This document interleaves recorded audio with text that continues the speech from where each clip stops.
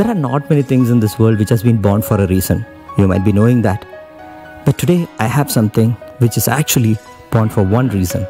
What's up YouTube? Welcome back to another video and see today we have a dream bike, the Suzuki Hayabusa. It's not just a dream bike for me, actually it's a dream bike for many people. I don't know whether I want to bike this motorcycle but someday I wanted to ride this motorcycle and these are those days man.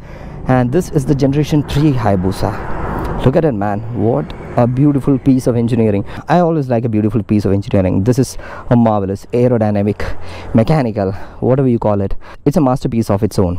It's a generation 3 busa you look at it. You can figure it out. This comes with an austin racing slip-on exhaust and that mammoth looking bike man. Look at the tail section.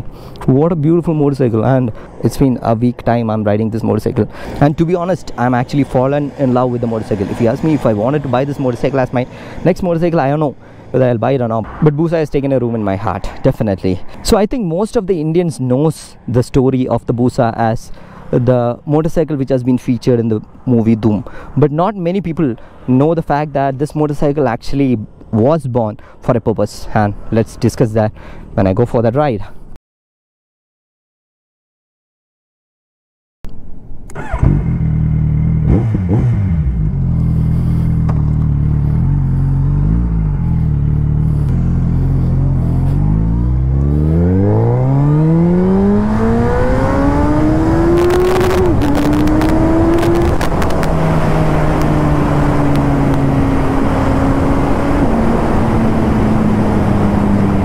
God damn it, front wheel in the air, man, front wheel in the air. I don't know whether I've shown this kind of an excitement in any other video in the recent past. So yes, let me explain to you how this motorcycle was born, the first generation of Busa. So if you know that there was something called as a speed war which was happening, I think probably even before many of us were born. This was happening in the 80s and 90s. So during those days actually, the Japanese market was ruling the world in the sense Honda, Yamaha, Kawasaki and Suzuki. Yes, the Germans was there, Europeans and some Americans was there. But during those days, the Japanese was actually having an upper hand on the speed motorcycles, the sports-oriented motorcycle. So yes, these four companies actually bring in motorcycles and they started doing a race where they bring out the most powerful. That means the motorcycle which has which has the highest top speed and you know those days there were no abs no traction control nothing like that it's just the bike and the u that's all and those days actually they have come up with 250 plus kilometer per hour motorcycles. And it's like every other time when a manufacturer comes with a different motorcycle it used to be like one or two kilometer more.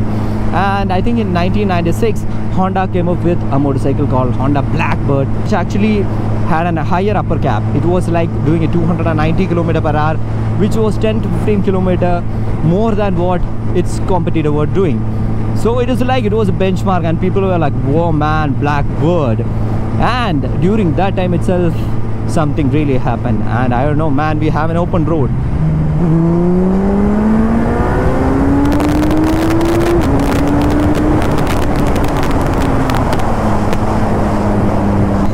It's all open roads here but let's come back to the story.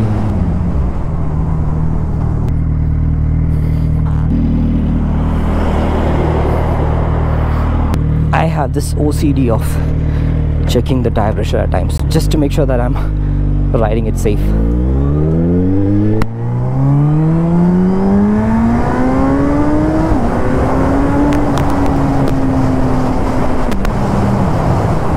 Yeah, let's continue the story otherwise we'll lose the flow. Yes, the Honda Blackbird was there at 290 km per hour mark. And you know what? The Honda Blackbirds actually the name itself comes from a blackbird. And I don't know fortunately or unfortunately there used to be a bird called the peregrine falcon which used to hunt and catch this blackbird. And that peregrine falcon is the fastest ever animal and on this planet. The recorded speed is about 300 km per hour and sometimes it can do 500 km per hour. Unofficially you know that bird also knows that there are speed limits. And the Suzuki Hayabusa has taken the design elements from this bird, the peregrine falcon. So Suzuki has made a motorcycle just like engineering an aeroplane. They took the inspiration from the bird and they have made a streamlined body. They made that generation 1 Hayabusa which can do 300 plus kilometer per hour. And that is the first time humans have ever seen a motorcycle crossing the 300 kilometer per hour mark and it was like alarming the whole world was like wow because somebody on a two wheel can do 300 plus you know it's unbelievable it's an unbelievable speed that too with zero electronics and at that time people doesn't know there are electronics I mean, the, they later engineered it. So with the very limited safety features, yeah, people were doing 300 km per hour. And what happened is that the government got scared and they were about to ban the super bikes. And then these manufacturers came up with a gentleman's agreement. So gentleman's agreement means there is no written agreement, but it's a deal between them, an unsaid rule that we are restricting the speed to 299 km per hour. And after that, many motorcycles have crossed the speed, but the thing is they won't show it in the dial. So that's how the speed war ended. And this is that motorcycle which created the hype of crossing the 300 km per hour mark and creating the gentleman's agreement. You know, that's such an iconic motorcycle in the history of motorcycles, the Suzuki Hayabusa. And yes, obviously, we Indians know this motorcycle th through the movie Dhoom. I was so young when I saw that movie, but there were many other motorcycles in that movie as well. I had an eye on the GSX uh, 600R. like I was looking at that motorcycle, but yeah, the Busa has got the entire attention through that movie. And man, this is built like a missile. This is definitely a missile on two wheels, no doubt about it. Because it's faster, it's too controllable on the high speeds, and compared to the older version of Busa this has a lot of electronic tech aids. This one comes with a 6-axis IMU and uh, Suzuki has completely utilized it. So this comes with cornering sensitive ABS cornering traction control and the front wheel lift the stoppie control and you name it everything is there in the motorcycle. I don't have to walk you through everything. And uh, this has three preset power modes and three user defined power modes. That means we can have totally six power modes. And the power is adjustable. The quick shifter is good actually. The quick shifter has two adjustments. So the race shifts and the normal shift. So in my opinion i'll say that the upshift is good but the downshift is not so good. The upshift happens at any rpm and it has that but sound when we shift up. Uh, but for the downshift i'm a little disappointed because uh, compared to other kawasaki and all it is not as smooth as that i see for the 6r and the 10r but the shifting is very good on the upper rpms man what a road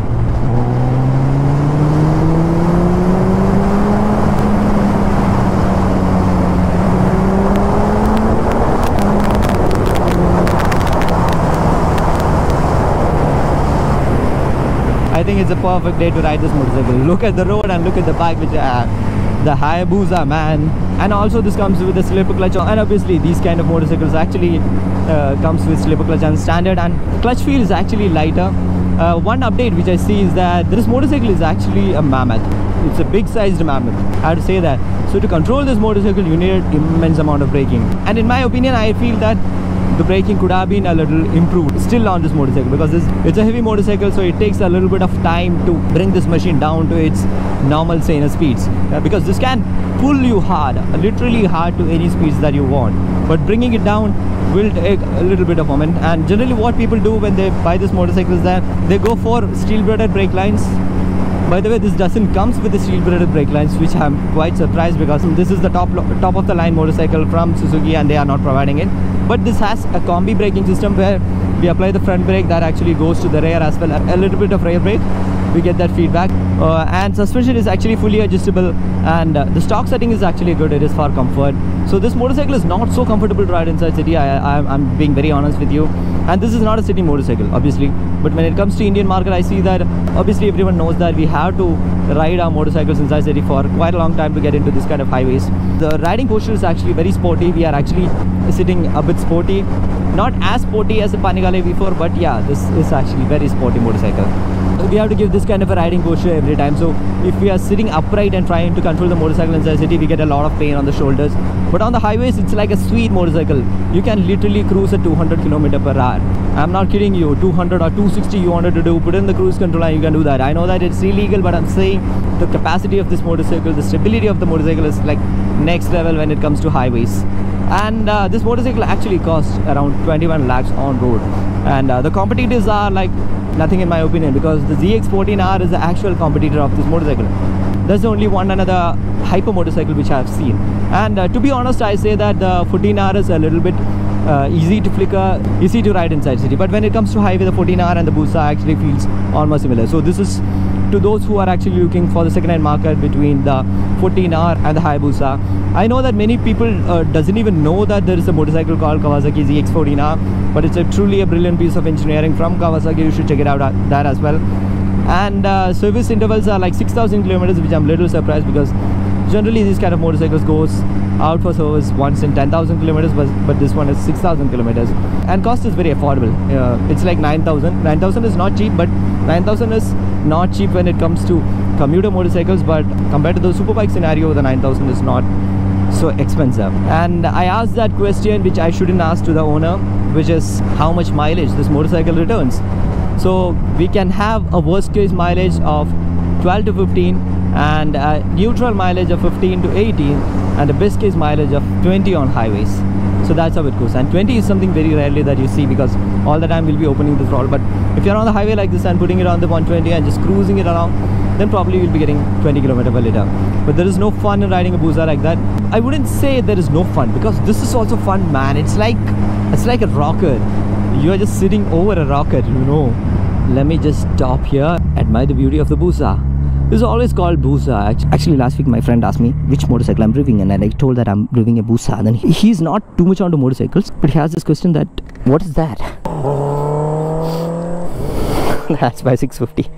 Yeah, so he asked me what is a Busa. So it's called the Hayabusa and uh, those who love the Hayabusa call it as Busa like you know people call it with that nickname and that's called the Busa and yes man the Busa is such a sweet motorcycle. Look at it.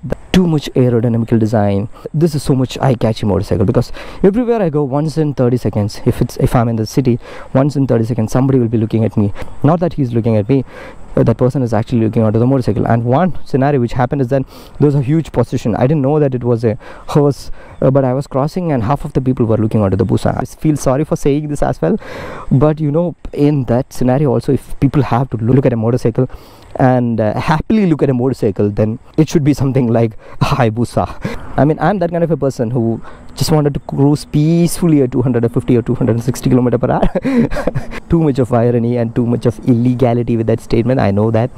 But yeah that's the truth of this motorcycle. And yeah also i love this dial man. You see that this is one thing which they did good because uh, when they wanted to introduce all the electronics they need to have an lcd screen which is there in the middle and they preserve this analog tacho so this one has all sort of things. I mean name it you have it except the tpms it has everything. This is the tachometer this is the speedometer. Man i miss the tacho on the r1 man.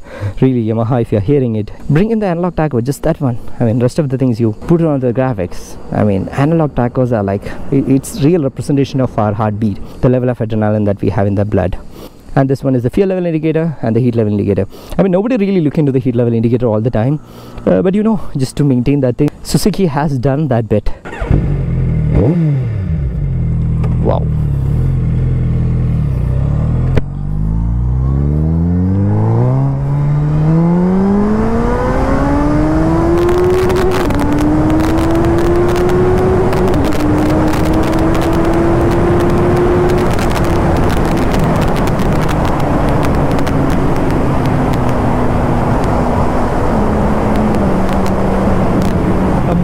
motorcycle that is born to beat the 300 kilometer per hour mark to eat the Honda Blackbird for the breakfast. And here it is the Suzuki Hayabusa. And thanks a lot for watching this video. I know that I sound a little different in this video because I was not keeping well after I taking this motorcycle. It is too hot here. I literally got a cold because of this heat waves and all and uh, you know i'm on medicines and today i'm having the best medicine in the world. And that is the adrenaline pumping from the Hayabusa and i believe that you like this video. And as always show some love in the form of likes and comments. See you in the next video. Until then bye bye